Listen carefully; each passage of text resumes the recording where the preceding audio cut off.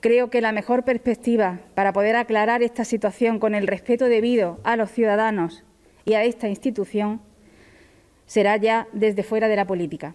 Y por eso hasta hoy me desempeño como concejal del Ayuntamiento de Córdoba. Después de que Izquierda Unida descubriera que la concejal de Ciudadanos y delegada de Servicios Sociales Eva Timoteo compaginaba su cargo con su profesión de procuradora, hoy la edil ha dimitido tras no aprobar el Pleno esta compatibilidad.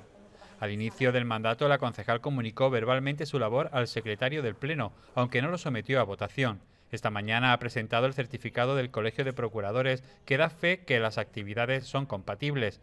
Aún así, el Pleno lo ha negado y ella ha presentado su dimisión inmediata, no solo al cargo, sino también a toda retribución pública. Timoteo asegura que el resto es producto de la baja calidad política que está dañando a ella y a su entorno.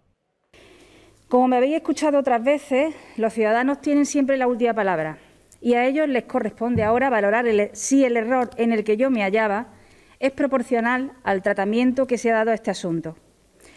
Y también sabrán evaluar a quienes se han puesto el disfraz de garantes de la legalidad mientras buscaban, pescar en río revuelto una ganancia que responde solo a intereses partidistas. La concejal ha pedido perdón y ha asegurado que ha actuado desde la buena fe.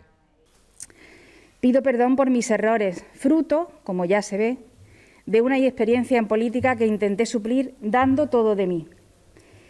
Y aunque especialmente en temas sociales nunca todo es suficiente, me voy con orgullo y dando gracias a Dios de haber podido ayudar a mi ciudad en los peores momentos de su historia reciente.